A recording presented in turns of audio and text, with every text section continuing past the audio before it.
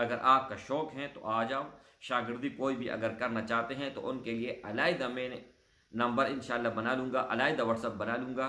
तो आप इन ताला पूरी दुनिया पर कोने कोने पे जो है ना आप किसी का भी इलाज करा सकते हैं, सिर्फ़ और सिर्फ़ नामों और तस्वीर के ऊपर। तो ये अमल ज़रूर भी ज़रूर आप कर लें। जहाँ पर भी हैं, कहीं पर भी हैं, अगर आपका शक है कि हमारे ऊपर किसी ने कुछ करवाए हैं या हमारे घर में कुछ हैं। तो दुकान से जो आप ले रहे हो ना तो उनको ये ना कहो कि हम अमल के लिए ले रहे हैं। वैसे अगर आपको हज़ार, दो हज़ार में मिलेगा तो अगर आपने उनको बोले कि मैं इस चीज़ के लिए ले रहा हूँ तो फिर दस हज़ार में पड़ेगा।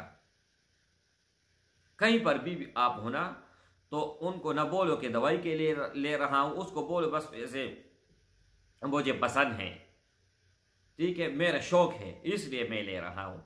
तो इन अल्लाह के फजल करम से ये तजर्बा आप कर ले और तजर्बा करने के बाद कमेंट ज़रूर भी ज़रूर करें और अपना राय, जो भी आपका सवाल होगा, वो भी कमेंट में आप करें। नहमदू रसूल करीम। अम्माबाद फ़ाऊदबिल्लिमिनशीतरजीम बसमीम अल्लाम वरहमल वबरक उम्मीद करता हूँ कि सब भाई और बहन खैरियत से होंगे और बाफ़ियत होंगे। और जहाँ भी होंगे, अल्लाह जल्शानु सबको खुश रखे और आबाद रखे। आज की इस वीडियो में एक मुख्तसर अमल बताने वाला हूँ, लेकिन अमल आप लोगों ने करना नहीं है। मतलब ये है कि न कुछ पढ़ना है, न कुछ सुनना है। सिर्फ़ एक चीज़ है, अगर आप उसको अपने घर में ले आए तो उनका क्या फ़ायदा होगा? मेरे भाइयों, एक है मुर्गा और एक है मुर्गी।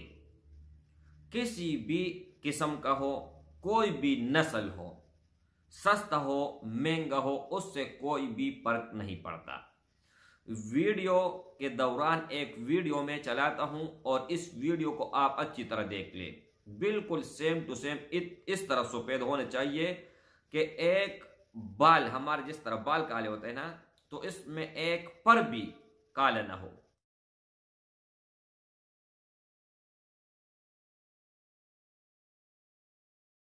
ठीक है, पैदाइशी बिल्कुल सफ़ेद हो।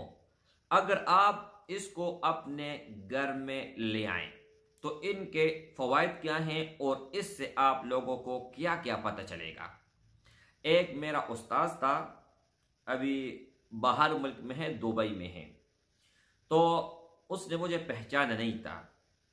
उसने मुझसे कंटेक्ट किया कि हमारा घर में ये हो रहा है, ये हो रहा है, ये परेशानी है, ये परेशानी है। तो मैंने उनको तो आवाज़ से पहचान लिया और उसने जो डीपी लगाया था व्हाट्सएप पर, वो मैंने देख लिया तो मैं पहचान चुका। मैंने कहा कि उस्ताद जी, मैं आपका शागिर्द हूँ आपने मुझे पहचाना नहीं है। अच्छा कौन सा शागिर्द? मतलब तारुफ किया। तारुफ करने के बाद वो हैरान हो गया कि अल्लाह जलशानू ने आपको इतना मकाम और इतना मरतबा दिया है कि मैं आपका उस्ताद हूँ और आपके साथ जो है ना कंडक्ट कर लूँ। मुझे तो इस चीज़ का बिल्कुल इलम नहीं था। तो मैंने उनको, उस्ताद जी को कहा कि आप इस तरह कर ले कि बिल्कुल सफ़ेद मुर्गा अपने घर में ले आए। उनके बाद फिर देखे कि क्या होता है। जब उन्होंने बिल्कुल वाइट सफ़ेद मुर्गा ख़रीदा और घर में लाया तो तीसरे दिन वो खुद ब खुद मर गई। मैंने कहा कि अगर आपके घर में जादू है, जिन्नात हैं, कोई भी असर है तो ये ज़िंदा नहीं बचेगी। ये बिल्कुल ज़िंदा नहीं बचेगी। और तीसरे दिन पहले दिन बिल्कुल ठीक ठाक दूसरे दिन बीमार और तीसरे दिन जो है ना मर गई। उसने कहा कि इसके अलावा और भी बहुत मुर्गियाँ हमने पाई। अब ने पाली थी, रखी थी, उनको कुछ नहीं हुआ। लेकिन जिस तरह आपने बताया, उस तरह हम ले आए। तो अब दूसरा वो ले आए, दूसरे के साथ भी इस तरह हुआ। तो मैंने उस्ताद जी को कहा कि मैं इन ताला तोड़ करता हूँ। तोड़ मैंने किया और तोड़ करने के बाद वो दिन और आज का दिन। उनके घर में बिल्कुल सफ़ेद मुर्गी है, ठीक है? मुर्गा है, मुर्गी नहीं, मुर्गा मुर्गा। मुर्गी नहीं, सही है? तो अल्हम्दुलिल्लाह, जिस घर में सफ़ेद मुर्गा होगा, उस घर में न जिन्नात आएँगे, न शयातीन आएँगे, उस घर पे जादू नहीं होगा, उस घर में किसी भी किसी भी तरह ख़तरा नहीं आ सकता है।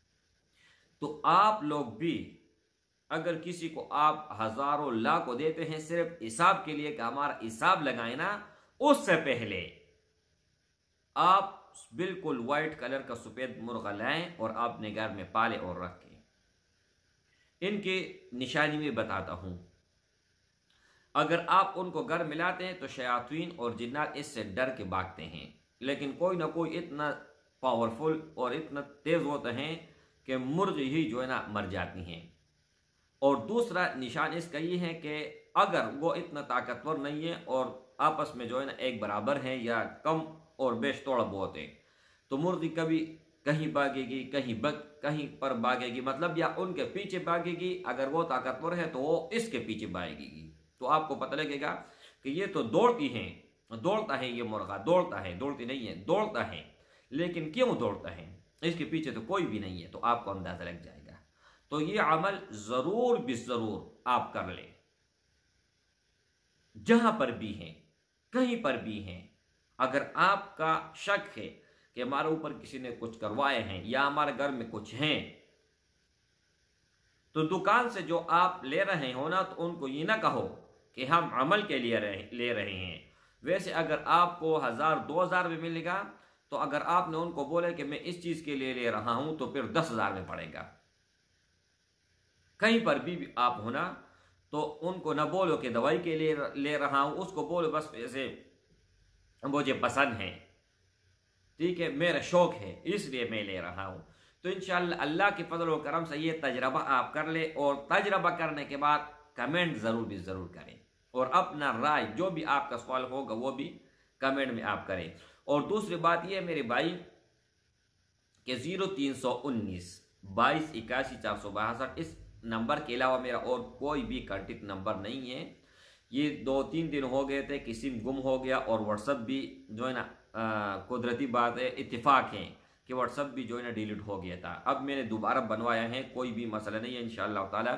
ये व्हाट्सअप पे आप सिर्फ़ कांटेक्ट कर सकते हैं, रबता कर सकते हैं। व्हाट्सअप के अलावा अगर आप कॉल करेंगे या मैसेज करेंगे तो उनका जवाब हर हरगिज़ नहीं दिया जाएगा, क्योंकि ये नंबर अक्सर अक्सर जब से मैंने लिए, उस वक्त से लेकर आज तक वो बंद है। सिर्फ़ मैंने व्हाट्सअप पर व्हाट्सअप बनाए हैं और व्हाट्सअप पर ही लोग के साथ में जो है ना कांटेक्ट करता हूँ।